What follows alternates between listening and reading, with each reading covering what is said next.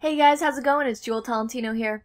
Alright, so in this video, I'm going to show you guys how to create a video for Instagram in Camtasia 9.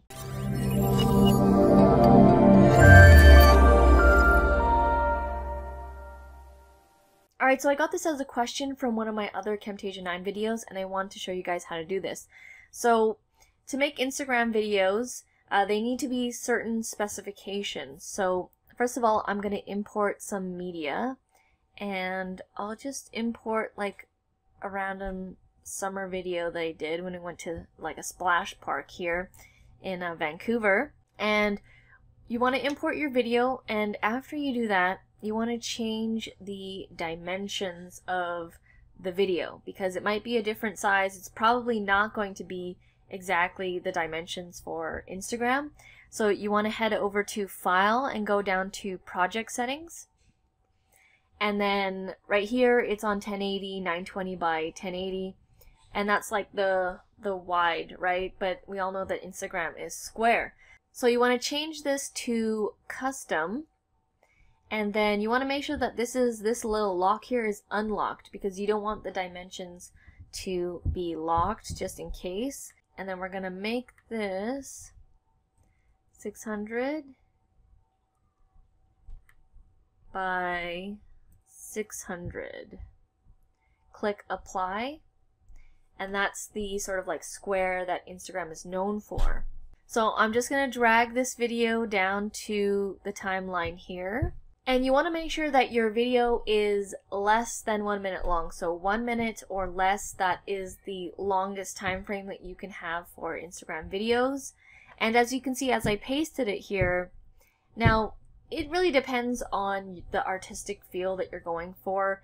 But if you don't like these little black stripes here at the bottom and at the top, then you can enlarge your video to fit the frame. And yeah, things will get cut out, but that's where you can adjust it accordingly. So I'm going to just make this fit the frame here, maybe just move it over a little.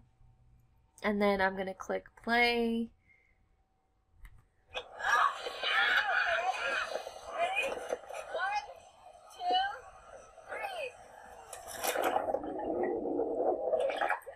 Alright, so that was just a fun video in the summertime.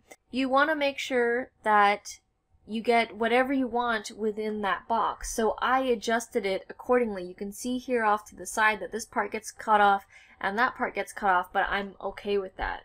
Again, if you don't want it to be the perfect square, then you can just make it smaller so that you can fit it as a whole. But in this case, I want it to be the exact dimensions for Instagram. And again, you want to make sure that your video is one minute or less.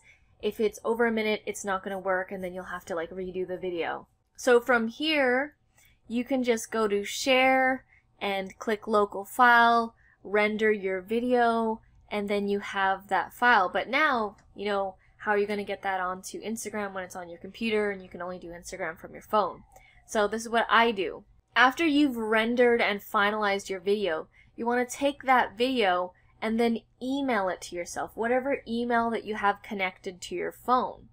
So whether it be Gmail, Yahoo, whatever email you have, and then once you've emailed it to yourself, it's going to be on your phone email. So then you can go and open that email, download that video file on your phone.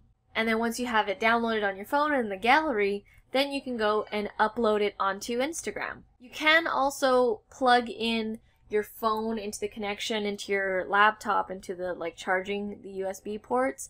But I find that's a little bit confusing for people because they don't know which folders to go into and put it in. So that's why I tell people to just email the file to yourself and then go into your email and download it. Alright guys, well that is it for this video. That is how you make a video for Instagram in Camtasia 9.